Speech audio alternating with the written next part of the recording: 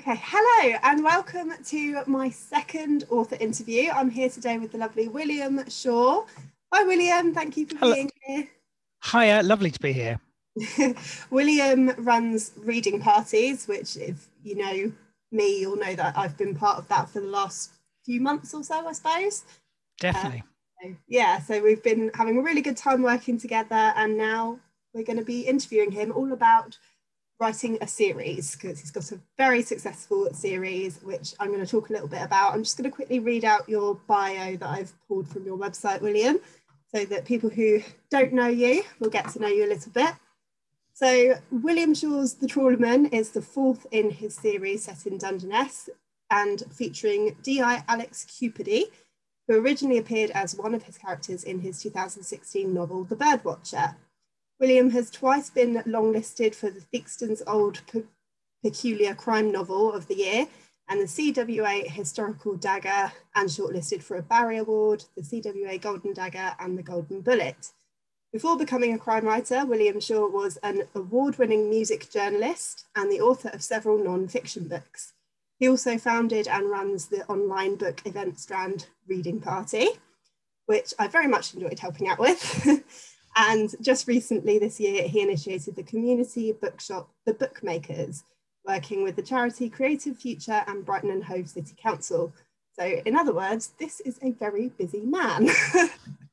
so, I guess yeah. the obvious question, William, is how do you find time to write at the same time as doing all of that? Well, I'm a very, um, I mean, it's great meeting other writers because you always assume you're doing everything wrong and doing it the wrong way. And the more longer I've been this doing this, the more writers I meet. And one of the great things I learn is that everybody does it differently. Some people can sit down and write from 9 a.m. till 5 p.m. and turn out lots of words. I've never been like that. I sit down, I might write from 9 till 9.30 and then I get up and I sort of wander around a bit and then I get distracted by the internet and then I start thinking about something else. Then I read a little bit of something. Oh, and then about 11 o'clock, I think, oh, I'm supposed to be a writer and I write some more. So um, I kind of think that um, that suits i've got sort of quite a magpie approach to um, writing. I don't you know the bits that i'm not writing i don't beat myself up about because i think i'm writing somewhere in my head and that's the way my brain kind of works. So if i'm doing something else like thinking about um, you know reading party or something like that part of me is still ticking over on on that conundrum that i've set myself in a plot where somebody's in a room and they should be 500 miles away. Um, so i think you know that's just the way i work. I just work in small little chunks uh, and kind of i wouldn't call it multitasking because that dignifies it with making it sound like i'm really good at it. I don't that's just the way i work and i've learned to accept it and i still seem to get lots of stuff done but by doing lots of bits of stuff. So having a few things to do um, doesn't distract me. Actually opening the bookshop probably a mistake but luckily it closes in december and uh, my next book's book's not due till may so i think i'll be all right on that one. You'll just just be able to squeeze them both in Um, so today we're going to be talking specifically about writing a series. Your series, the DI Alex Cupidi series, is so popular. Can you just tell us a little bit about it? Is it like, can you read them as standalones or do you have to sort of read them in one go? I really hope you can read them as standalones. I really like books where you read it as a standalone, but you then find that there's more to it without being disturbed by the fact that it's not that it's part of a series. I try and make everything totally complete within the book. Um, and that's just the way I like it.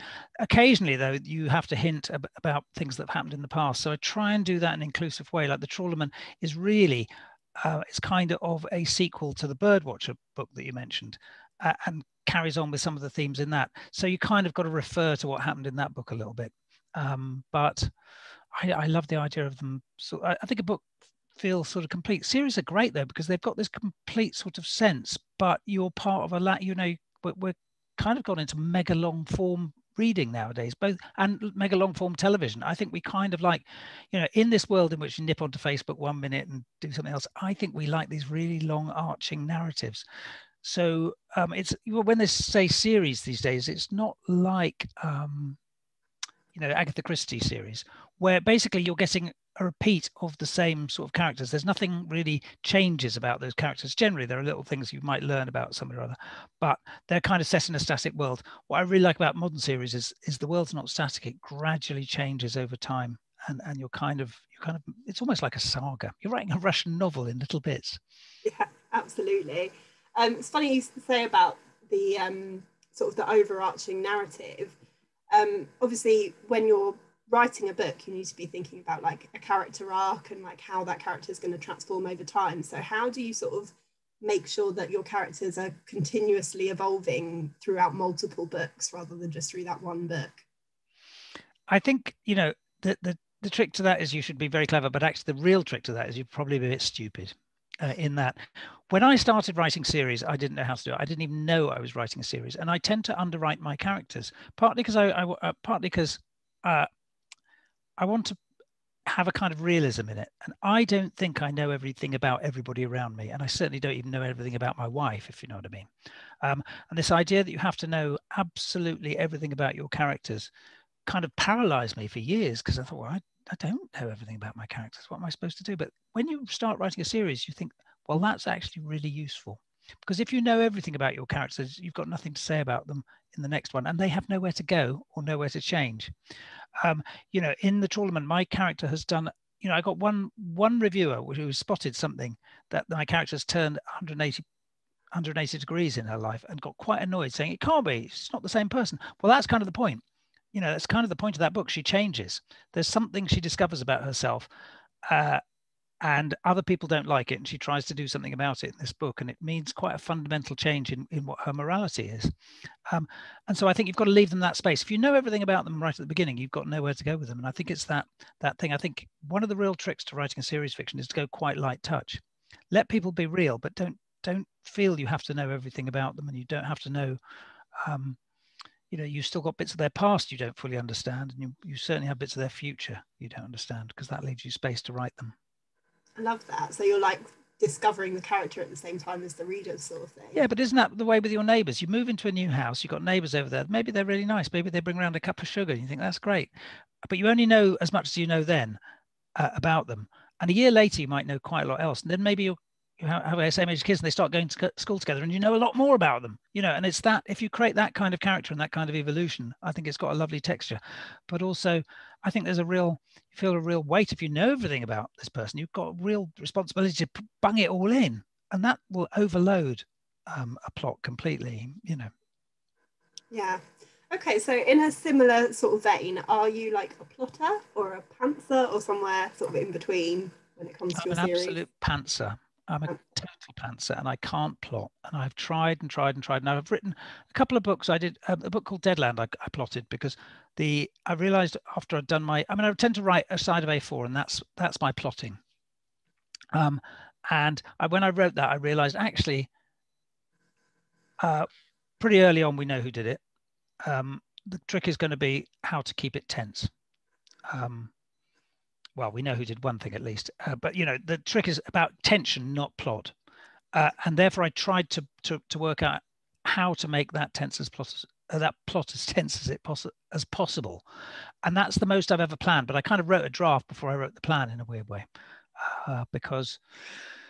But generally, if I sit if I sit down like on on the Trawlerman, I sat down and I tried to write a draft, and the one I'm writing now, I tried to sit sit down write a sort of plot rather than write write a proper thing. I can't do it. it. Just depresses the hell out of me. I find it really boring, and I write really dull ideas down.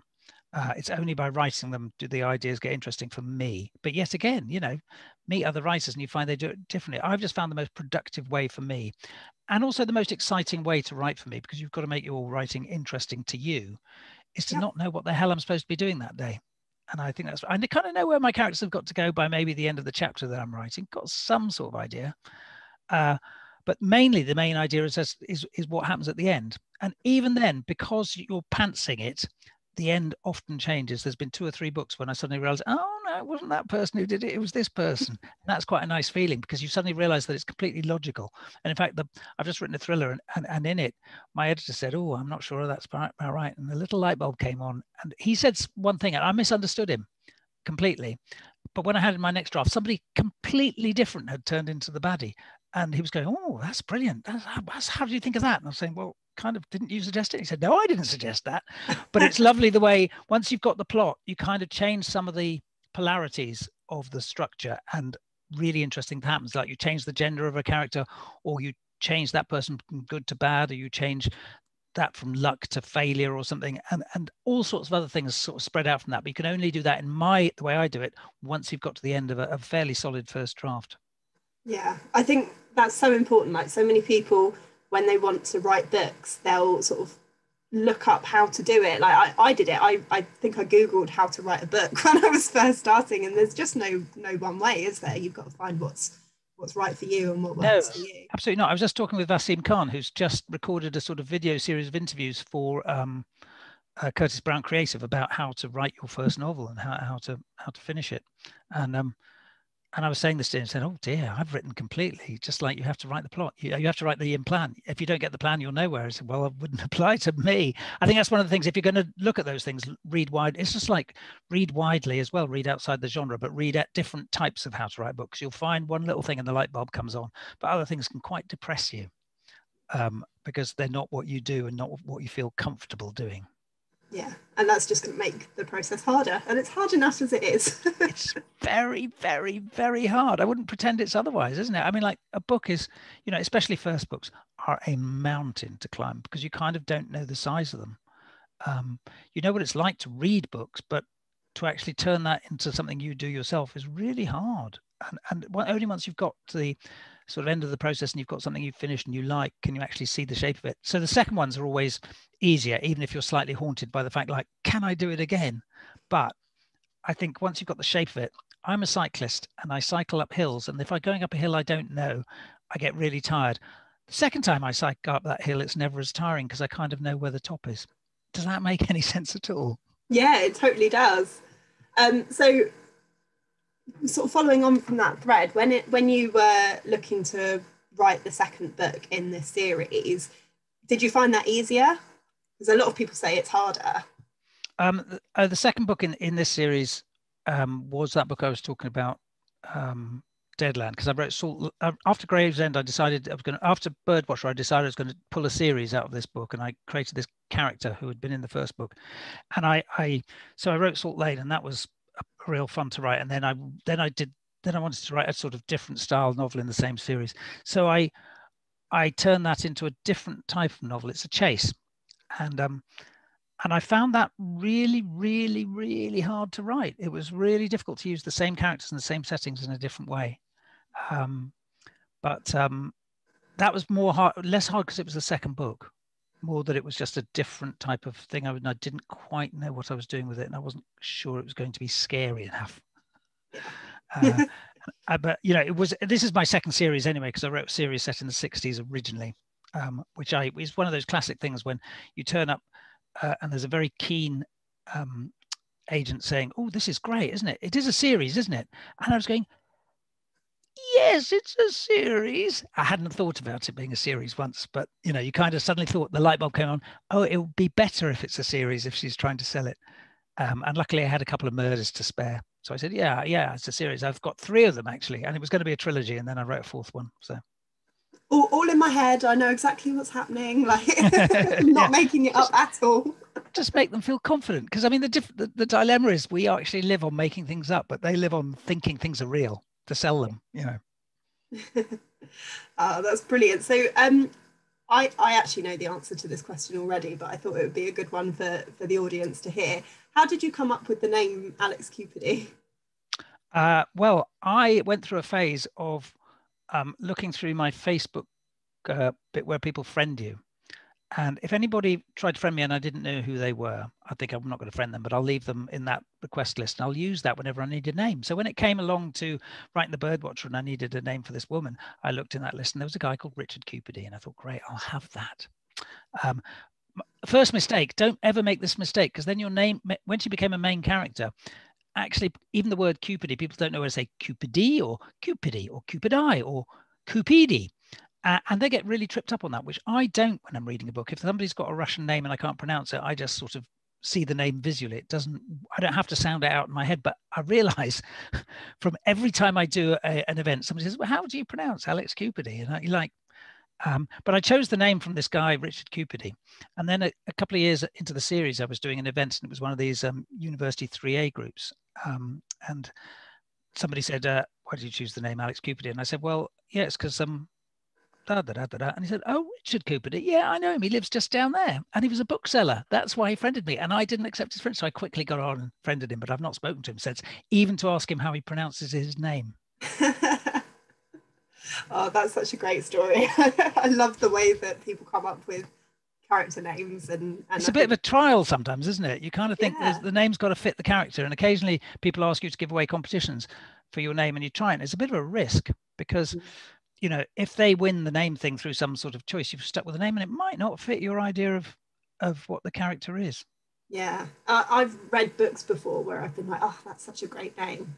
And then and then i really want to have a character who's got a really great name like that. And it's really hard to think of it. It's almost but names are technically really hard aren't they? Because you've got to have a name that people will, will remember through yeah. the thing. But on the other hand too big a name uh, especially for smaller characters will completely trip them up you know there's got to be a plausibility about some of the names um, i had uh, you know my second character is called jill ferriter which is a real name and it's existed around the area i was writing about her and it's just like you know, actually, it's quite good that one, but it's just on the edge of being a bit too interesting as a name, isn't it? Yeah, no, I like it. It's good. Um, so, in terms of writing other books that aren't part of your series, like standalones, how do you balance that? Like, how do you choose if you're going to do series book next or a standalone? Well, I mean, I was in a writers group for years, and I still am in a writers group with, with CJ Sansom, the historical fiction writer, and he was writing a book called Dissolution, and uh, it that was in our writers group. He's reading it, and I kind of was saying to him, you know, it's really hard to get a deal, Chris. It's really hard. You know, don't get too excited and stuff like that. And of course, the first deal he gets is for like for millions, and uh, he does really, really well. And he's one of the best-selling British writers. There is certainly historical fiction writers, uh, uh, but he also said what I'm going to do is I'm going to give them two of these books and then I'm going to write standalone. And I said, Chris, they'll never let that happen. They'll want the series to build up. And, you know, they won't just let you barge in there and say, now I'm going to do this, now I'm going to do that. Of course, contract was like for two two series in his Shardlake things and a standalone, which was Winter in Madrid. Um, and I thought it was kind of genius for the reasons he did it because he said, I'm a series writer. I don't want to get stuck in that, though. I need some other way to refresh my brain and find out new bits of history and keep interested in. Um, and what happened with those two books is the first two books did all right, but Winter in Madrid was the big, big breakout hit and was a big hit all around the world and kind of made his name. And it wouldn't he wouldn't have got anywhere, I don't think. Well, he would have he would have bubbled along had he not done that. And then it allowed people to go back and discover how brilliant the Shardlake series was. So I think there's two things. One, it's really good for your head to do something else, to think of another slightly different form that you're working into. And certainly with Birdwatcher, I learned so much writing that book. It taught me that was my fourth book, and I learned more writing that book than anything but the first book completely, um, just because you have to think quite freshly. And the second thing is it gives other people out there, the readers, a second chance to to um, rethink you and critics as well. You're far more likely, if you've done a couple of series books, you're far more likely to get reviewed if you do a standalone. I mean, uh, I had this conversation for years with Elly Griffiths, and then she wrote the Postscript Murders. And of course, the Postscript Murders allowed her to go on sort of all sorts of you know Richard and Judy stuff and things like that because suddenly she wasn't writing a series. Despite that, she was telling huge amounts by then. It gave people another excuse to revisit her, uh, apart from the fact that it was obviously great fun to write and to read. Yeah, yeah. I suppose if, if they're reading a standalone and they enjoy it, they might then go, "Oh, they've written a series. I'm going to read the whole series." So it's kind yeah. of like a nice introduction to you. Yeah, and I think you know, like some places that haven't stocked you find it a bit hard or haven't championed you find it a bit hard to start halfway through a series but standalone gives them the chance to buy in. So you know they can do that and, and include you into things. And up from there it's at the wedge to get inside people's heads. Oh that's brilliant. So um can you just tell us a little bit about what's next for you what's coming up in terms of your writing and other things that you're doing? Well, I'm writing a Cupidi book, which probably won't come out for a few years now, because I'm also writing a, a thriller that's um, out next year. It's called Dead Rich, and um, it's coming out next May. And it's it's very. I've just been doing the copy edit. It's quite good. And I think if you like something when you when you read the copy edit, which is the most tedious job in the world, and you think actually that's that's all right, um, then it then uh, it probably is all right. Um, so I'm very excited about that one. Um, and then I'll be writing another thriller based on that. So it's a, it's a kind of different genre, uh, just to have a little bit of a, a breather from the the um, books. But there's one underway, um, so that will happen too. Fantastic. And then the way that I finish these interviews, um, just to put you on the spot a little bit, is if you had one bit of advice for a aspiring author, what would it be? Well, it's the really obvious one is finish.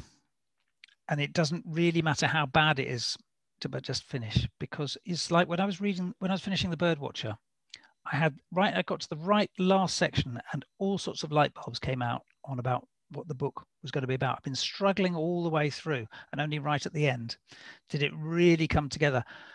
Because you can always make something that's a bit crap better, but you can't make a blank page better. And it's just no nobody wants there are no great bestsellers of half written books um no unless it's posthumously and you know you're you know somebody else famous finishes it you know um but um it's it's that thing is finished which is a real slog but you know also the other thing is like 300 words a day is a novel in a year um and 300 words a day isn't very don't get put off by all these people say i've just written 2000 words a day. I never write 2000 words a day unless i'm desperate I just can't do it. Um, little and often, just but get to the end. Be the tortoise, not the hare. Absolutely. I totally agree with that.